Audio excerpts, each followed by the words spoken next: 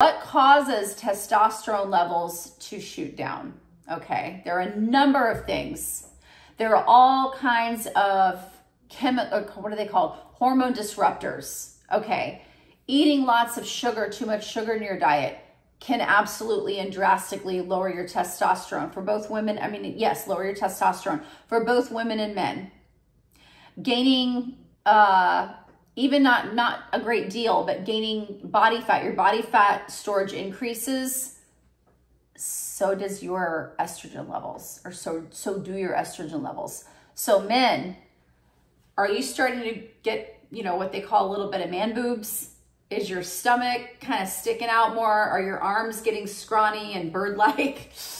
Don't let that happen. Go rip into the weights. Um, stop eating soy products. Uh, stop eating sugar. Um, get on an exercise routine, right? Um, you're not going to feel good like that. You know it, okay? Um,